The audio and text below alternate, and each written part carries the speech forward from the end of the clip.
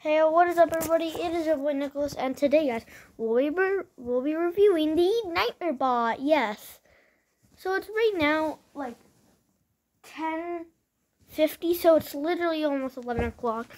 So that's why this is a little rushed, but yeah, it's the Dream Bot or Nightmare Bot.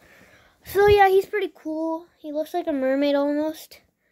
Um, but he is pretty rushed, just because it's like like literally almost 11 o'clock. But yeah, um, he looks pretty cool, honestly.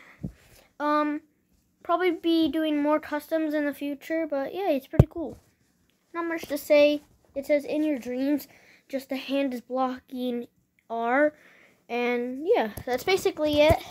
He's pretty cool. Love him. Um, here are all my customs in total that I've done this week. This one being my last for this week. And yeah, these are all my customs.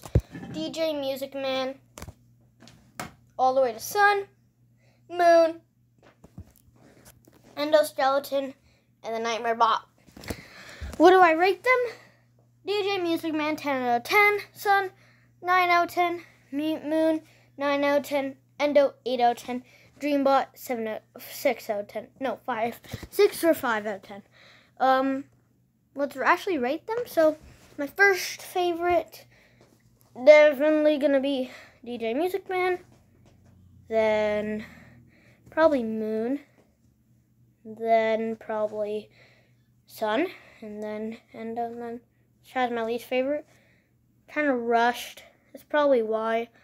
Um, but yeah, he's pretty cool it's time for bed because I am tired. You can just tell it. Just, it, yeah, amazing day. Bye.